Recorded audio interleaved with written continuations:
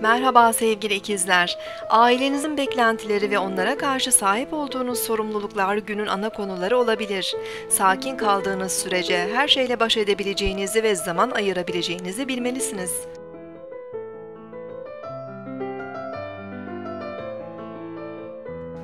Bugün 15 Temmuz 2014 Salı, Mars günündeyiz. Ay sabah 5.41'de Balık burcuna geçecek. Balık burcunda ilerleyen ay güne duygusal ve hassas enerjiler verebilir. Sabah saatlerinde Yengeç burcundaki Merkürle üçgen açı yapacak olan ay, sezgilerimizi ve empati yeteneğimizi arttırabilir. Duygusal enerjimiz ve yaratıcılığımız yükselirken sezgilerimiz yol gösterici olabilir. Bugün su ve deniz kenarında zaman geçirebilir, seyahat yapabiliriz. Öğleden sonra ay balık burcundaki Neptünle birleşecek. Hayal gücümüz güçlenirken manevi ve ruhsal kavramlara daha fazla çekilebiliriz.